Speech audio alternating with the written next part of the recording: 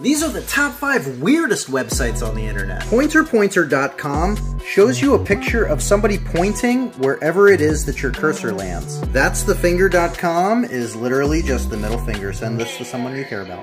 GodHatesShrimp.com is apparently a website about people that are completely convinced that God hates shrimp. Airhorner.com is literally just a website with an air horn. CorgiOrgy.com is just a website of corgis. This one's actually pretty cool. Let me know which one you think is the weirdest.